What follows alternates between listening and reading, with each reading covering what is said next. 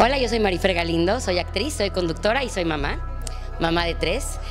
Y para mí ser mujer es una bendición, porque somos el único género que tenemos la bendición de poder ser mamás y yo creo que es lo más maravilloso que puede existir. Damos vida, creamos comida en nuestro cuerpo y eso es algo muy picudo.